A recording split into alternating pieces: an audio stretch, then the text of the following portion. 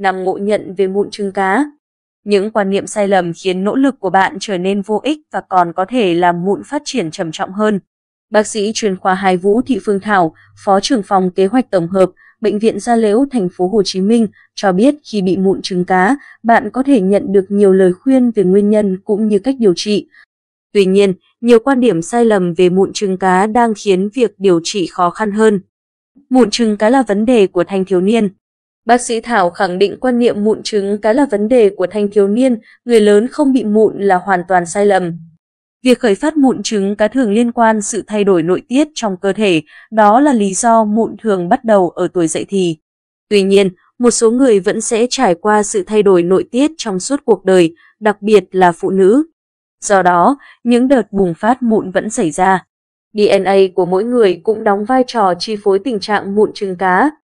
Nhiều người có khuynh hướng da nhờn, trong khi số khác da lại khô dễ chóc vẩy. Những bệnh nhân có khuynh hướng da mụn sẽ dễ bị nổi bất kể ở độ tuổi nào. Mụn nên được điều trị sớm, nếu không sẽ khiến tình trạng nặng hơn và khả năng để lại sẹo chứ không tự khỏi, bác sĩ Thảo nói. Ăn chocolate sẽ gây nổi mụn. Hiện chúng ta chưa có bằng chứng khoa học rõ rệt về việc ăn chocolate sẽ gây bùng phát mụn. Tuy nhiên, da liễu có nhiều bằng chứng cho thấy một số thực phẩm làm gia tăng đáng kể nồng độ đường trong máu như carbohydrate, đường và sữa. Chúng có thể làm tình trạng mụn nặng thêm. Do vậy, bạn nên thảo luận với bác sĩ trước khi quyết định thay đổi hoàn toàn chế độ ăn. Có thể tự điều trị mụn. Bác sĩ Thảo cho biết, khi bị mụn trứng cá mức độ nhẹ, trung bình, bạn có thể thử điều trị bằng các sản phẩm hỗ trợ được bán tại nhà thuốc. Tuy nhiên, tình trạng không cải thiện, bạn nên đến gặp bác sĩ, không có gắng điều trị hoặc tự ý sử dụng sản phẩm không rõ nguồn gốc. Đặc biệt, bệnh nhân bị mụn trứng cá mức độ nặng, thương tổn lan rộng với nang, nốt, cần đến khám bác sĩ chuyên khoa da liễu để được điều trị thích hợp. Ánh nắng mặt trời, nước muối giúp trị mụn. Việc tiếp xúc ngắn hạn với ánh nắng mặt trời có hiệu quả kháng viêm. Tuy nhiên, khi tiếp xúc lâu dài, mụn có thể xuất hiện nhiều hơn lỗ chân lông bị bít tắc, kích thích hình thành mụn.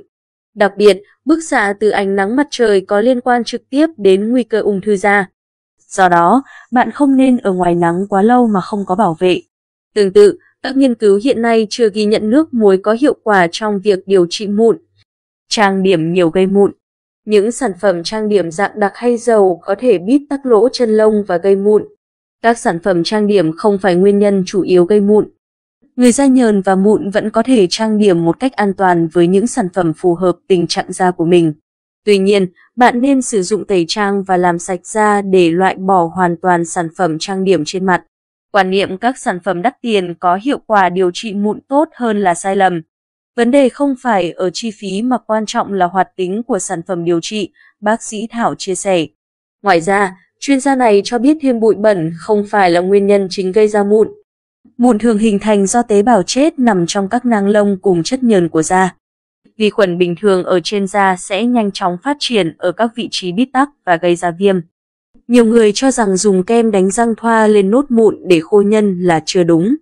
Thực tế, kem đánh răng không chứa thành phần kháng khuẩn và kháng viêm, nguy cơ kích ứng da cao và có thể gây rối loạn sắc tố đáng kể, nhất là ở người da sậm màu.